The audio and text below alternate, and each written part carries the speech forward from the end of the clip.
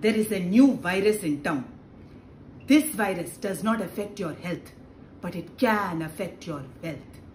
ये वायरस सोया हुआ नहीं है सोवा है Sova Trojan virus This virus is very dangerous.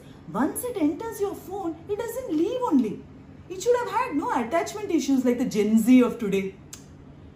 Not only that, it will keep stalking everything you do on your phone, from your bank details to your passwords. So how do you avoid this unwanted guest from entering your phone? Few simple tips, I'll tell you. Stick with me.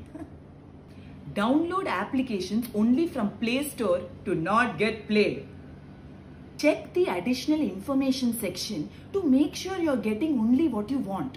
Na kam, na zyada. Make sure your security patch is up to date. Ekdam latest version.